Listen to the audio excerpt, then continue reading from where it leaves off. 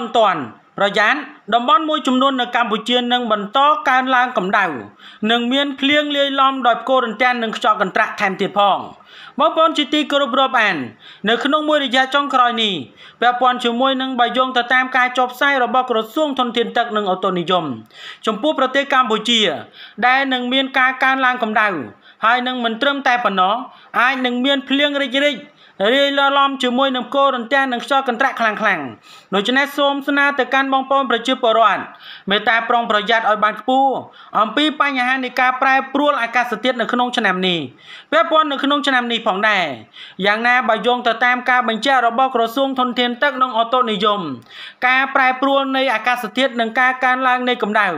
ហើយនឹងមានភ្លៀងរិចរិចនេះដូច្នេះបងប្អូនមេត្តាប្រុងប្រយ័ត្នចំពោះបញ្ហាផ្គររន្ទះ ដូច្នោះកុំឲ្យប្រិយមិត្តរបស់យើងរងចាំយូរសូមមេត្តាជួយ Subscribe និង Like ដើម្បីទទួលបាននូវព័ត៌មានថ្មីៗបន្ថែមទៀតពុកម៉ែបងប្អូនជាទីគោរពរាប់អាន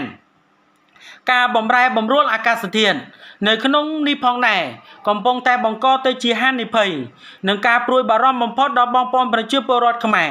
និងសម្រាប់បងប្អូនប្រជាពលរដ្ឋអ្នកដែលធ្វើដំណើរទៅទីជិតទីឆ្ងាយដោយនៅក្នុងសកម្មភាពមួយនេះសូមដាក់អាវភ្លៀងការពារទៅជាមួយផងស្របនៅពេលបច្ចុប្បន្ននេះការកើនឡើងកម្ដៅនឹងកើតមាន ហើយមិនត្រឹមតែប៉ុណ្ណោះមេឃភ្លៀងក៏នឹងចាប់ផ្ដើមបើយោងទៅតាមការបញ្ជាក់របស់ក្រសួងធនធានទឹកនិងអូតូនិយម បានបញ្ជាក់ថាចាប់ពីថ្ងៃទី26ខែមេសាដល់ថ្ងៃទី2ខែឧសភានៅពេលខាងមុខតំបន់មួយចំនួនរបស់កម្ពុជានឹងបន្តកើនឡើងកម្ដៅនិងមានភ្លៀងតិចតិច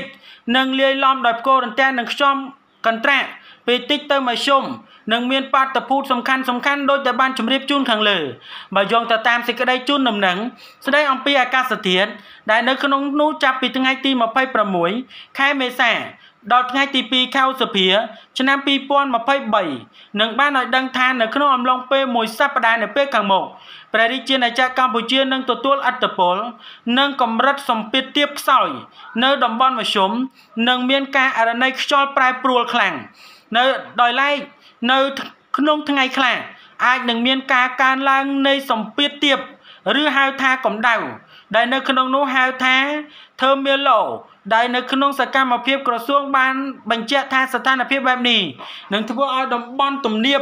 កណ្ដាលនឹងមានសីតុណ្ហភាពអបបរមាដែលមានចន្លោះចាប់ពី25ដល់27អង្សាសេនិងសីតុណ្ហភាពអតិបរមាដែលមានចន្លោះចាប់ពី36ដល់38អង្សាសេផ្នែកមួយចំនួន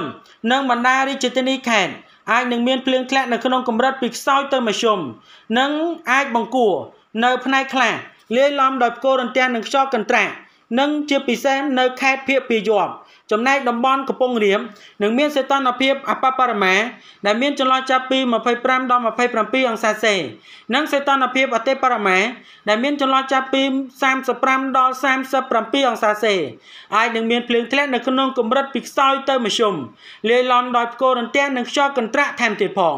និងដោយឡែកតំបន់មាត់សមុទ្រនឹងមានសីតុណ្ហភាពអបបរមាមានចន្លោះចាប់ពី25ដល់27អង្សាសេ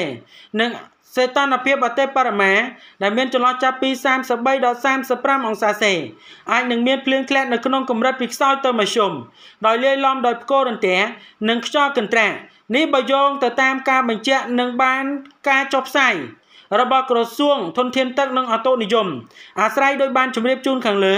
សូមសាធារណជនមេត្តាជ្រាបជាព័ត៌មាននិងបង្កើនការប្រុងប្រយ័ត្នចំពោះបាតុភូតធម្មជាតិដែលអាចកើតមានឡើងជាយថាហេតុដូច្នេះព័ត៌មាននេះមានប៉ុណ្ណឹងដើម្បីទទួលបាននូវព័ត៌មានថ្មីៗបន្ថែមទៀតសូម Subscribe និង